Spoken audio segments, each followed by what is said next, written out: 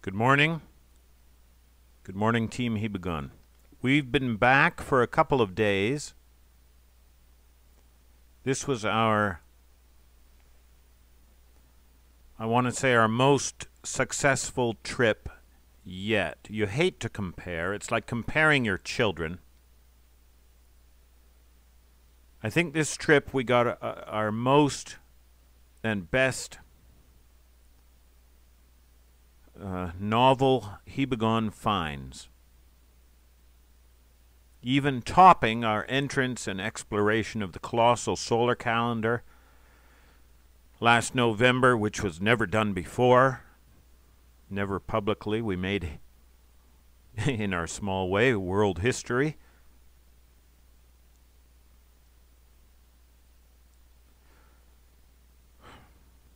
We found fresh footprints in the snow, made within the last 12 hours before we found them. My wife found them.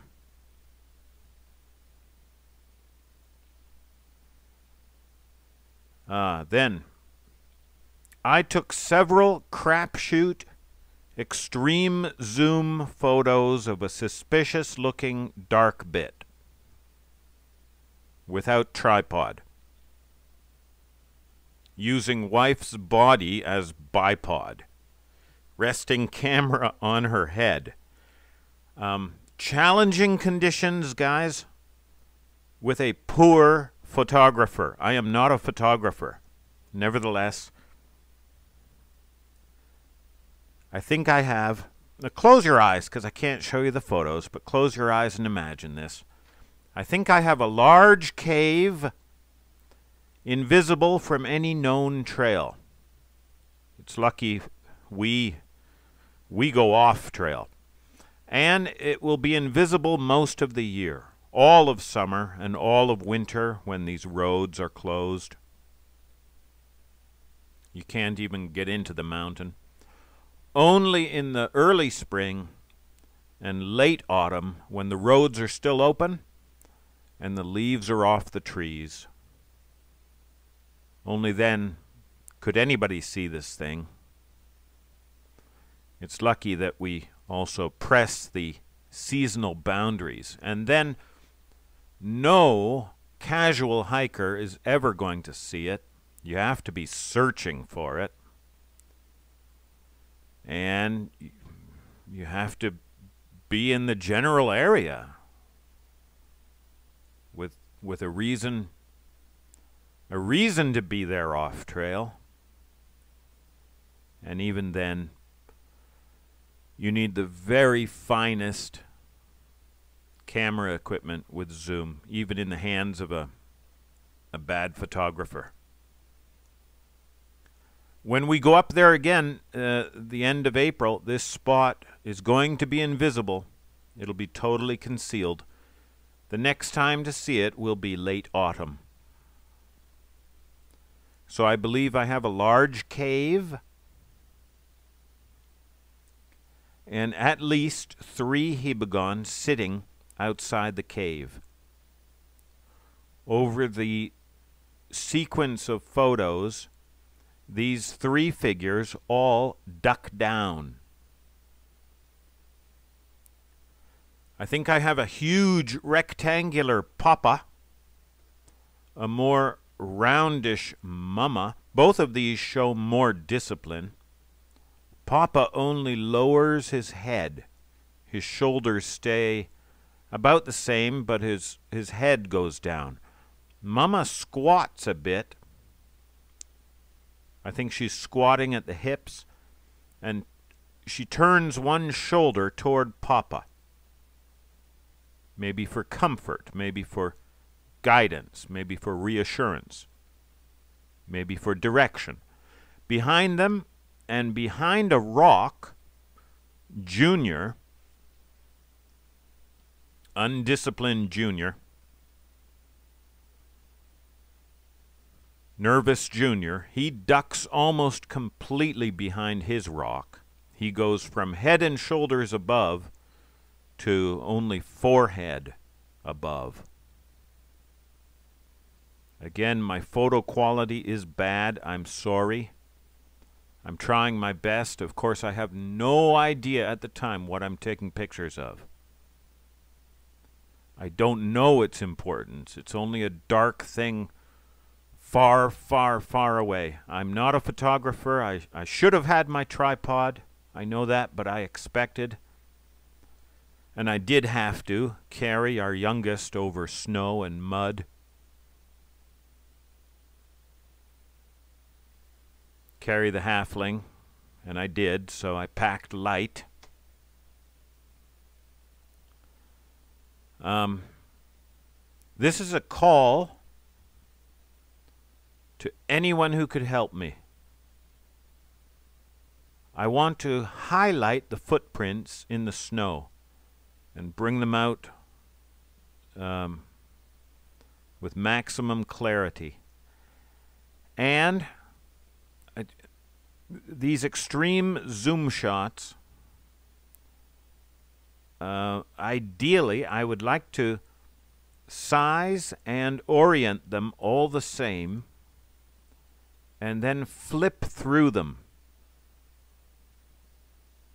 Flip through them showing the figures ducking down, but the zooms are different. The level of the camera, the horizons are different. You know, it's cold. We're tired, my hands shake, and my wife's head is not flat on top. If anyone can help me, I will give you the raw data to work with.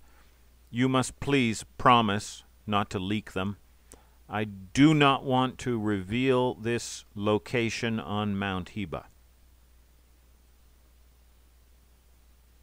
Somewhere on Mount Hiba should be enough for the general public. Now, if no one can help me, I will do it, but it will take me longer, and the finished quality will be of low, lower quality. It will be amateurish. It's not out of, at least it's not only out of laziness, I'm asking, but for hope of a, a better product and faster, made presentable to everybody. The last footprints found and made public were November of 1972. I was two years old. I think I found a partial print last year on Bingo Akasaka, but it wasn't. It was partial. It was a slip on a hillside. You guys couldn't all see it. These prints are clear. They match other documented photographed footprints. They match the cast on display in the Hiroshima Police Shobara City headquarters. It's clear. Skeptical, stubbornly skeptical wife clerk found them, and she's not a skeptic anymore.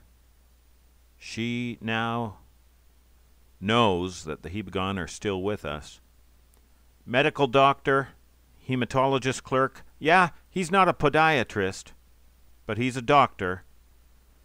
And he's up to date in Hibagonology qualifications. He believes they are uh, fresh Hibagon footprints. And amazing to say, ridiculous to say, but I may have found the Hibagon home. Again, if anyone can help me improve on the raw photos, please volunteer. If not, I will do my slow and uh, crappy best. We also made friends with the monk. He and I are now Facebook friends. And we found Hibagon structures behind his temple, uh, as expected. We also found a huge megalithic tomb mound, unopened, called the Tomishi. We'll get to that. But fresh footprints on Mount Hiba, unequivocal Hibagon footprints, and a cave with black figures in front of it who duck down when I take photos of them. Those are your lead stories. I'll bring you more as soon as I can, sooner and better with your help. Thank you, everybody, for your patience, and thank you again, Team Hibagon, for your help always, in all forms. Um, if anyone is a jerk and tries to rush me, or poke me, or call me a liar, you'll only make me mad and it'll go slower, so please don't do that. These are very important discoveries. They're very precious to me. Uh, I want to present them the best way, not necessarily the fastest way. And it, it has to be the most ethical way. We have to keep the Hibagons privacy and safety and not be jerks to them. So let's festina lente and make haste slowly. I love that saying. Make haste slowly and wisely. Okay, thank you. I love you.